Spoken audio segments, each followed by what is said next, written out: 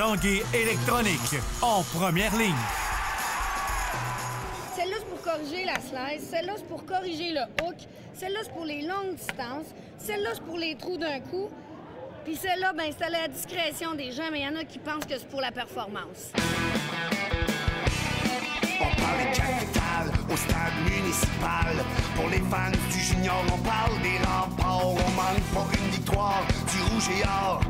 À l'esprit sportif, on aime le sport.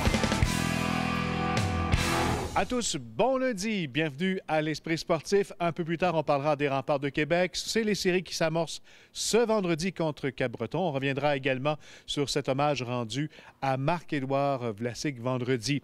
D'abord, parlons de golf. Même si l'hiver s'est invité au printemps, en fin de semaine, il y avait le salon Golf Expo à Québec. J'en ai profité pour faire le tour de différentes nouveautés et j'ai également rencontré le porte-parole de l'événement, Daniel Melançon.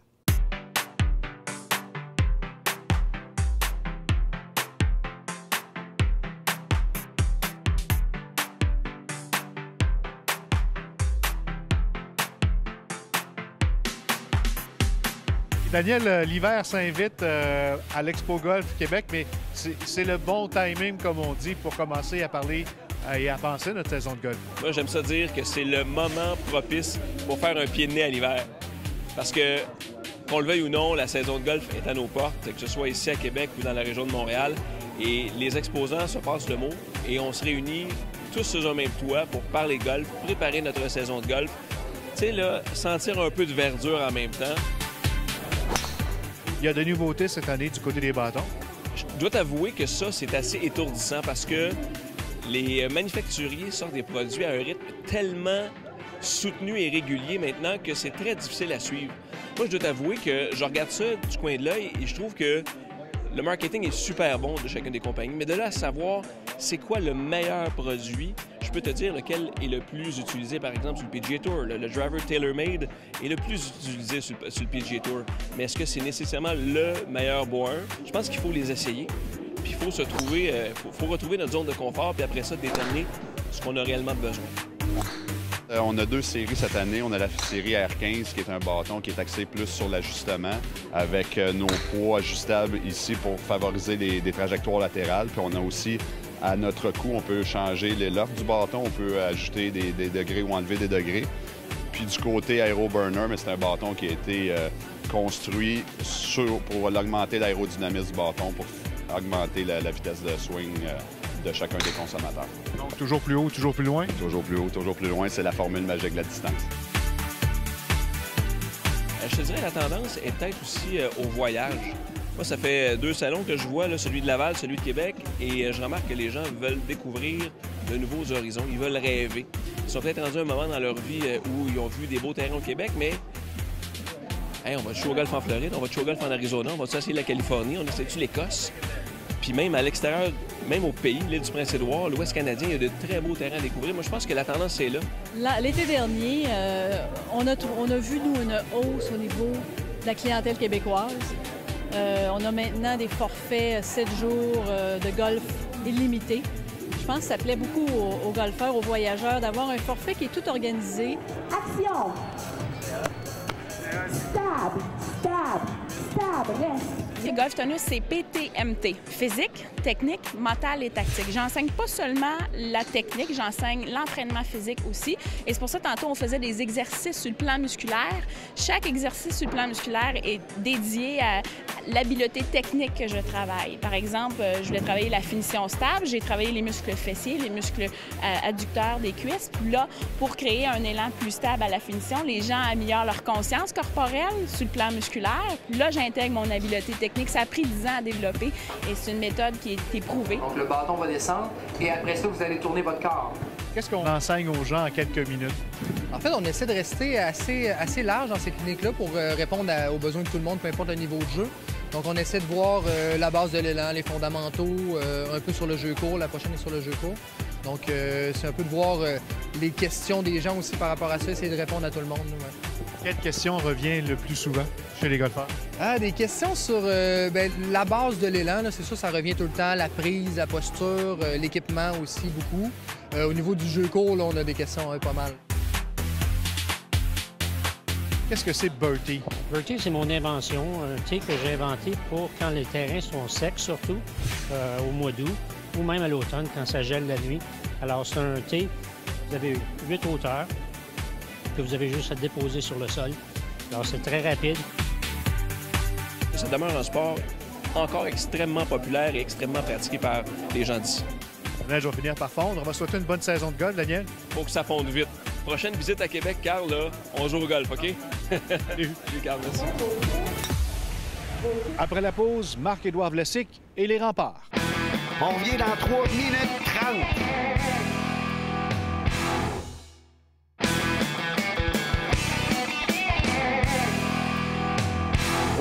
Maintenant, les remparts de Québec connaissent maintenant le nom de leurs adversaires en vue du début des séries. Ce vendredi, ici, au Colisée Pepsi, ils affronteront les Screaming Eagles du Cap-Breton. On en a parlé avec l'entraîneur-chef Philippe Boucher. Mais d'abord, revenons sur cette belle cérémonie, cet hommage rendu à Marc-Édouard Vlasic, le numéro 44, qui se retrouve maintenant au plafond du Colisée Pepsi.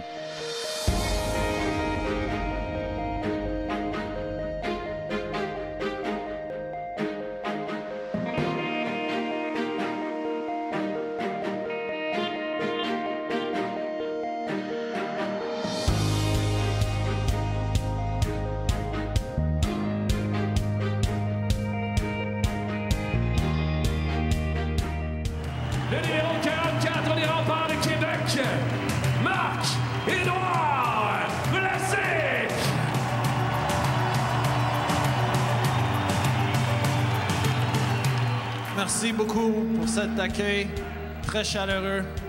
Vous êtes des partisans extraordinaires, des partisans extraordinaires pour moi et les remparts, et je vous re- remercie énormément.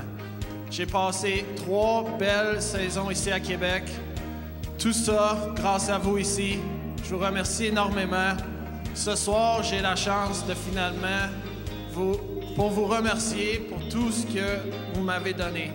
Je voulais remercier beaucoup de monde qui m'ont aidé dans mon passage. On n'atteint pas la Ligue nationale sans du monde qui pousse un peu.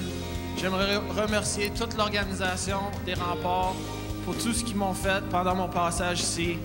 Euh, tous les entraîneurs que j'ai côtoyés depuis mon passage dans le hockey mineur, je vous remercie.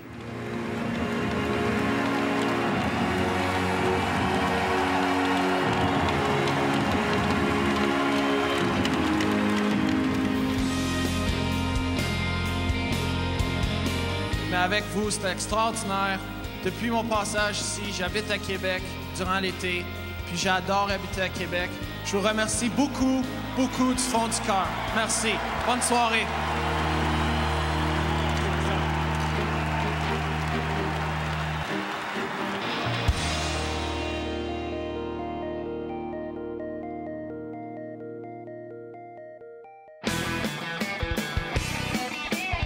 Les remparts de Québec auront rendez-vous avec les Screaming Eagles du Cap-Breton lors de la première ronde des séries éliminatoires qui s'amorceront vendredi et samedi au Colisée Pepsi.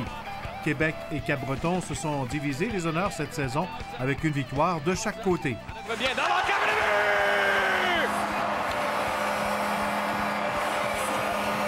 Philippe Boucher, euh, c'est le début de la, de la vraie saison?